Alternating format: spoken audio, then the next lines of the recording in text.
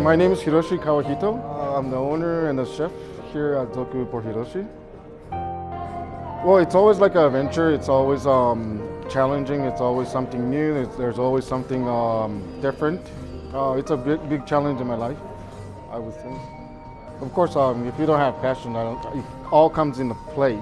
So um, if you don't have passion, you cannot uh, create a good plate, I think.